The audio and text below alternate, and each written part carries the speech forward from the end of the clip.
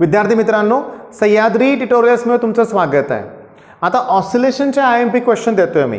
Strategy आपली अशी आहे की थिअरी इम्पॉर्टंट क्वेश्चन जे हंड्रेड पर्सेंट परत परत विचारले जात आहेत तेवढेच करायचे. ओके लाईन टू लाईन फिजिक्समध्ये वाचत बसायची वेळ नाही आहे ओके पण फॉर्म्युले सगळे परफेक्ट करायचे जेणेकरून एम सी क्यू असतील ओके न्यूमेरिकल असतील आणि व्हेरी शॉर्ट आन्सरमधले जर काही न्यूमेरिकल बेस्ड क्वेश्चन असतील ते जमले पाहिजे. मी आपल्याला स्ट्रॅटेजीमध्ये काय सांगतोय? फॉर्म्युलेच करायचे परफेक्ट बरं तुम्ही म्हणाल मग थिअरी कमी आणि फॉर्म्युले जास्त. कसं काय? एक लक्षात घ्या सीई टीला पन्नास प्रश्नापैकी चाळीस न्यूमेरिकल असतात. मग मला सांगा या स्ट्रॅटेजीचा फायदा होणारच ना? पण मी तुम्हाला काय सांगितलंय? थेरी क्वेश्चन करायचेच ना. मग कुठले थेरी क्वेश्चन करायचे? पटकन सांगतो.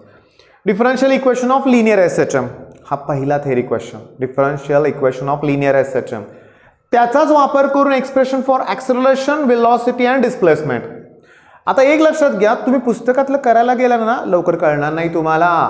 मग याच्यासाठी मी व्हिडिओ तयार केलेलेच होते अगोदरच तयार केलेत लक्षात घ्या. दहा पंधरा मिनिटाचा एक एक व्हिडिओ आहे. ह्याचा सेपरेट व्हिडिओ आहे याचा सेपरेट आहे प्रत्येकाचे सेपरेट व्हिडिओ आहेत लक्षात घ्या. बघाच. हुडकायचं कुठं? चॅनलवर तर सातशे आठशे व्हिडिओ आहेत ना मग मी तुमच्यासाठी डिस्क्रिप्शनमध्ये लिंक प्रोव्हाइड करतोयच हे लक्षात घ्या ओके? आता ऐका. ह्यातलं सगळ्यात महत्त्वाचं वाटतं मला सिंपल पेंडुलम.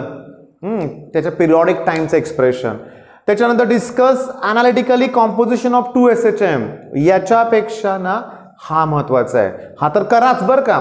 डिक्स expression for kinetic energy potential and total energy आणि त्याचं ग्राफिकल रिप्रेझेंटेशन आता ग्राफ म्हणजे ते एकाखाली एक तीन नाहीत ग्राफ काढायचे लक्षात घ्या. एकाच ग्राफमध्ये एक एनर्जी इन्क्री मॅक्सिममवरून मिनिमम पुन्हा इन्क्रीज होते. दुसरी मिनिममवरनं अशी इन्क्रीज होते.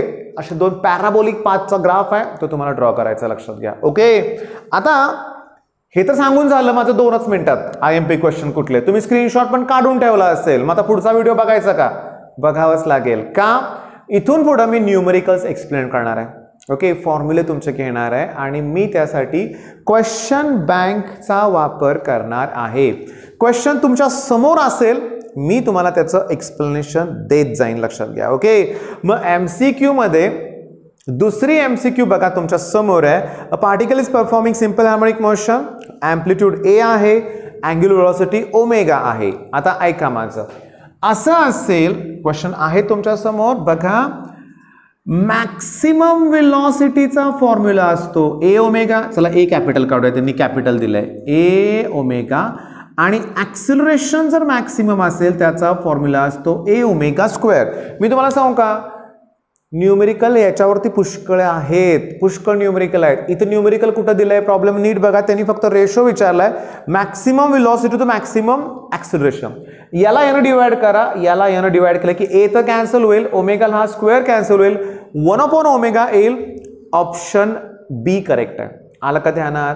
मग पहिले दोन फॉर्म्युले लिहून घ्या. मॅक्सिमम विलॉसिटी आणि मॅक्सिमम ॲक्सिलरेशन नेक्स्ट जो क्वेश्चन आहे लक्षात घ्या. नेक्स्ट क्वेश्चन बघा. तो चौथा क्वेश्चन आहे. चौथा क्वेश्चन सेकंड पेंडुलम पेंडुलम आहे. Mass of the bob is fifty gram it is replaced by hundred gram mass its period will be actually सांगू का? सेकंड पेंडुलमचा पिरियड टाईम दोन सेकंद असतो. पण सिंपल मी तुम्हाला आत्ताच बोललो सिंपल पेंडुलमच्या पिरियॉडिक टाईमचं एक्सप्रेशन इम्पॉर्टंट आहे. ते आहे two pi under root L upon g आता मला सांगा ते लेंथवर डिपेंड आहे? मासवर थोडंच डिपेंड आहे. मग त्यामुळे होणार काय? मेन पॉइंट असा होणार की तिथं काहीही चेंजेस होणार नाही. सेकंड पेंडुलमचा पिरियॉडिक टाइम सुरुवातीला किती सेकंद असतो? दोन सेकंद मास इन्क्रीज करा तो दोनच सेकंद राहणार आहे. मग तुम्ही ऑप्शन चेक करा. ऑप्शन बी करेक्ट आहे. सोपं वाटतंय ना? कन्सेप्ट क्लिअर करा. सगळं सोपं वाटतं आहे लक्षात. घ्या. आता मी तुम्हाला सांगतो. तुम्ही पाचव्या एम सी क्यूकडं परफेक्ट लक्ष द्या. आता पुसायला नाही पाहिजे असं मला वाटतंय कारण हे मगाशीच फॉर्म्युले मला वापरायचे आहेत. मी पाचवा न्यूमेरिकल तुम्ही वाचा. व्हिडिओ पॉज करून वाचा. ओके आता मी एक्सप्लेन काय करतोय बघा. की जर मी व्ही मॅक्सिमम मॅक्सिमम विलॉसिटीला मॅक्सिमम ॲक्सिलरेशन डिवाइड केलं तर मला वन अपॉन ओमेगा मिळतं. मग अशीच आत्ता आहे पण ओमेगाचा फॉर्म्युला असतो टू पाय अपॉन टी मग इथं ओमेगाचा formula two pi upon T ते टी मी वर लिहितो. मग मला सांगा तुम्हाला मॅक्सिमम वेलॉसिटी दिलेली आहे टेन मॅक्सिमम ॲक्सिलरेशन दिले थर्टी वन पॉईंट फोर आता माझा आहे का? पायची value three point one four two घेतलं तरच आम्ही चेक करणार.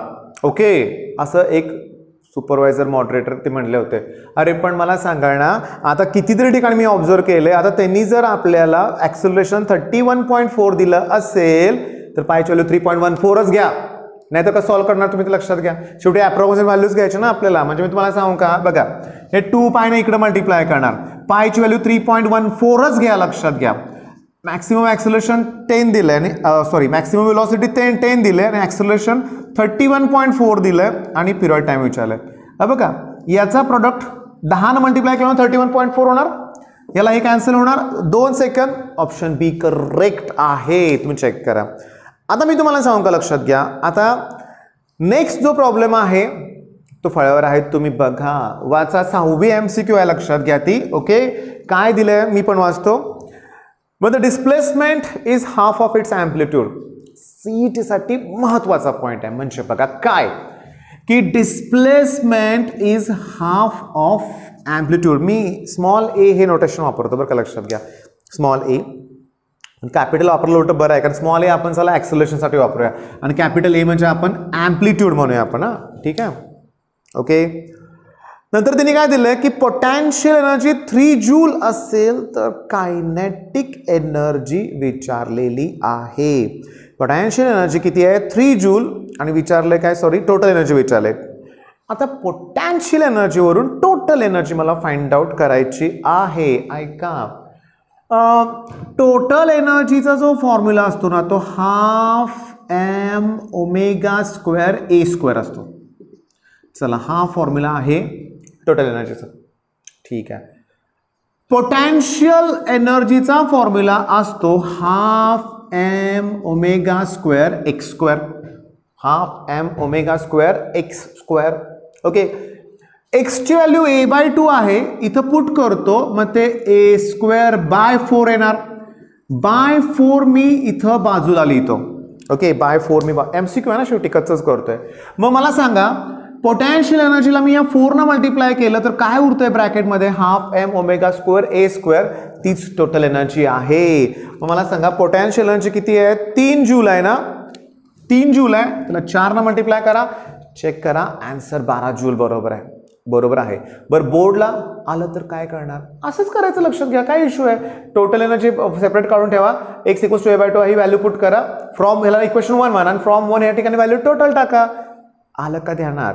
ओके आता नेक्स्ट क्वेश्चन जो आहे सगळेच क्वेश्चन मला इझी इझी आणि इझीच वाटत आहेत लक्षात घ्या. काहीही कठीण नाही आहे लक्षात घ्या.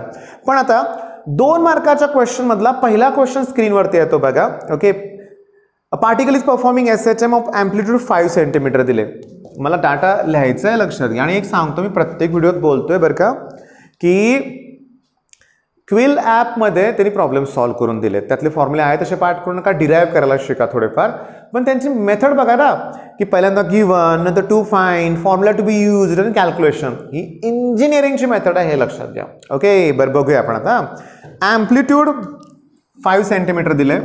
A equals to five into ten raise to minus two मीटरमध्ये कन्वर्ट करा ना. पिरियड टू सेकंद कॅपिटल टी दोन सेकंद दिलाय. Find the speed of the particle म्हणजे व्ही विचारलंय व्ही पण कधी वेन ॲक्सिलरेशन असं लिहूया. Acceleration is half of its maximum value half of its maximum value मी काय करतोय लक्षात? घ्या. ओके समजून घ्या. Acceleration is half of its maximum value दिले ना त्यांनी याच्यावर मी ना डिस्प्लेसमेंट काढतो. ॲक्सिलरेशनचा फॉर्म्युला आहे omega square X half half आणि मॅक्सिममचा फॉर्म्युला आहे ए ओमेगा स्क्वेअर ए म्हणजे ॲम्प्लिट्यूड कॅपिटल घेऊया. ए ओमेगा स्क्वेअर ओमेगाला ओमेगा स्क्वेअर काय होईल? काय असेल? अरे X value A by two मिळाली. सोपं झालं ना? एक्स व्हॅल्यू काय मिळाली ए बाय टू मग विलॉसिटीचा फॉर्म्युला असतो plus minus omega under root A square minus X square A square minus X square ऐका. ओमेगाचा फॉर्म्युला मी two pi upon capital T put करतोय. Okay under root A square minus A square by four okay आणि याच्या पुढचं calculation आपल्याला करायचं आहे लक्षात घ्या. म्हणजे फोर म्हणजे थ्री बाय असं येणार three by four A square teach value two second टूला टू कॅन्सल पाय उरलं. आता पायचा इथं कुठं पुढं संबंध नाही आहे मग पायची value three point one four two put करा काय हरकत नाही. रूट थ्रीची व्हॅल्यू काय असते सांगा? One point seven three two हे लक्षात घ्या. ओके आता मी तुम्हाला सांगतोय बाळांनो ऑलरेडी मी काय केलं लक्षात घ्या की नुसते तुम्हाला एक सुरुवात करून दिले तुम्हाला फॉर्म्युले तयार करायचे आहेत लक्षात घ्या. आता तरी मी काय करतोय तीन मार्काचा पहिला क्वेश्चन घ्यायची माझी इच्छा आहेच. कारण तो अतिशय अतिशय महत्त्वाचा आहे लक्षात घ्या. मी तुम्हाला आता सांगतो बघा. सिंपल पेंडुलम ओके मी याच्यावरती ऑलरेडी सेपरेट सेपरेट व्हिडिओ तयार केलेले आहेत. त्यात न्यूमेरिकल्स आहेत म्हणून मी इथं घेत नाही. आणि इथलं माझं काम काय आहे की तुम्हाला आय एम पी क्वेश्चन देणं आणि तुम्हाला करायला लावणं. ओके आपण दर दोन दोन तीन तीन तासाला तुम्हाला प्रोव्हाइड करणार आहे मग सकाळी केमिस्ट्री दुपारी मॅथ्स नंतर फिजिक्स असं देऊ आपण तुम्हाला ते करायचं आहे ओके आता बघा. सिंपल पेंडुलम पहिला क्वेश्चन तीन मार्काचा आहे की पिरियॉडिक टाइम त्याचा फॉर्म्युला असतो two pi under root L upon g आता ऐका माझं. क्लिअरली सांगतो. त्यांनी लेंथ इन्क्रीज केले. ओके आणि पिरियड पिरियड ऑफ पिरियड पण इन्क्रीज होणार ना लेंथ इन्क्रीज केलं तर. आणि बघा ऐका माझं मी सांगतो काय ते. मी लिहितोय काय बघा. T proportional to root L बाकीचे व्हॅल्यू कॉन्स्टंट आहेत ना. आता प्रॉब्लेमच दिलं आहे काय त्यांनी बघा की लेंथ ते फोर्टी फोर सेंटीमीटर इन्क्रीज करतायत आणि पिरियड ट्वेंटी पर्सेंटने इन्क्रीज होतोय. हे तर ठरलेलंच होतं. मी तुम्हाला जस्ट एक्सप्लेन नंतर करणार. बघा आता लगेच ऐका माझं. T टूची value one twenty percent of T one येणार. कारण ट्वेंटी पर्सेंट वाढली. मग सुरुवातीला हंड्रेड पर्सेंट असते. ट्वेंटी पर्सेंट इन्क्रीज झाली. की ते वन ट्वेंटी होणार? मग मला जरा T one upon T two ratio पाहिजे असेल. आता समजून घ्या. मी जरासं इथं लिहितो हां. मग T two equals to one point two T one येणार. पण वन पॉईंट टूच्या ऐवजी हे सोपं पडलं आपल्याला? वन ट्वेंटी बाय हंड्रेड मग हंड्रेड मी इकडं घेतो. ओके हंड्रेड वन ट्वेंटी खाली येणार. And that equals to T one upon T two बरं यल टूची व्हॅल्यू यल वनपेक्षा फोर्टी फोरनं जास्त आहे. मग याच्यावरून आपण फॉर्म्युला कसा तयार करणार आहे? जर असं तुम्हाला कॉन्स्टंट टर्म काढून टाकले ना हे जे उरले ना तेच घ्यायचं. T one upon T two आणि इकडे L one upon L two मग टी वन अपॉन टी टूची व्हॅल्यू किती आहे? हंड्रेड अपॉन वन ट्वेंटी हे यल वन आणि खाली L one plus forty four चला ट्वेंटीने डिवाइड करा इथं फाईव्ह होईल इथं सिक्स होईल नेक्स्ट स्टेप काय? दोन्ही बाजूचा स्क्वेअर करा. क्रॉस मल्टिप्लिकेशन करा. तुम्हाला यल वन इनिशियल लेंथ मिळेल पण त्यांनी तेच विचारले ना इनिशियल लेंथ ओके मग तुम्हाला सॉल्व करायचं आहे मी तुम्हाला सांगू का? मी रेशो आहे ना म्हणून सेंटीमीटरमध्ये तसंच ठेवलं फोर्टी फोर कन्वर्ट केलं नाही. पण आता ऐका माझं. मी तुम्हाला सांगू का? आता एवढेच क्वेश्चन आहेत अनालिटिकल ट्रीटमेंटचे आहेत. आता चार मार्काला क्वेश्चन आहे का? कुठला? चार मार्काला ऐका. चार मार्काला तुम्हाला हा प्रश्न दिसतोय क्वेश्चन बँकमध्ये ओके जरा टॅली करूया ना आपण. नंतर चार मार्काचा दुसरा क्वेश्चन आहे. सिंपल पेंडुलम ओके आपले दोन्ही क्वेश्चन आहेत. पुन्हा चार मार्काचा तिसरा क्वेश्चन आहे. कायनेटिक पोटॅन्शियल टोटल मॅच होत आहेत ना? तर तुमचा एक मेन क्वेश्चन असतो की तुम्ही दिलेले क्वेश्चन करू का क्वेश्चन बँकमधले करू? सेमच येणार आहे. का मी पी वाय क्यू घेतोय ना? आणि क्वेश्चन बँकवाले पी वाय क्यू कसे सोडतील? सगळे क्वेश्चन झाले. चार मार्काचे क्वेश्चन हा आहे हा आहे किंवा हा आहे? मी सांगू का? ॲनालिटिकल ट्रीटमेंट पण त्यांनी घ्यायलाच पाहिजे होता चार मार्काला. काय नाही घेतला असं तीन मार्काला घेतले का मी चेक करणार आहे. बरं का लक्षात घ्या. ओके बरं. ॲनालिटिकल ट्रीटमेंट आहे. Composition of two S H M तीन मार्काला घेतलं पण खरं सांगू का तो चार मार्काचाच क्वेश्चन आहे. म्हणजे मला आता लक्षात आलं आहे मी तुमच्यावर शेअर करतोय की ऑसिलेशन हा सेक्शन डीसाठी असणारा टॉपिक आहे. चार मार्काला तिथंच येणार त्यामुळे हे सगळे एक्सप्रेशन्स तुम्हाला केले पाहिजेत. पण तुम्हाला सांगू का मी इथं एक स्टार करून एक क्वेश्चन ॲड करतोय. शेवटी तो मॅग्नेटचा आहे. इथं दिलाय क्वेश्चन बँकमध्ये पण तो डिलीटेड आहे का ते चेक करा. बरं का मला असं वाटतं तो डिलीटेड असावा पण ते चेक करा. ओके मग आता आजचं टार्गेट कंप्लीट केलं असे मेसेज आले पाहिजेत. व्हिडिओ अपलोड केल्या गेल्या लगेच सेकंदात करू नका की टार्गेट कंप्लीट केलं म्हणून. बरं का लक्षात घ्या. आणि चिडू नका. मी थोडंसं खुश कधी होतो माहिती आहे का? व्हिडिओ अपलोड केले केले एकाचं कॉमेंट येतं. First comment second comment okay आवडतं लक्षात घ्या तुमचाच रिस्पॉन्स त्यामुळं तुम्ही अभ्यास चांगला करा. शेवटी रिझल्ट चांगला हवाच आहे मग. ठीक आहे मित्रांनो मग बेस्ट ऑफ लक धन्यवाद.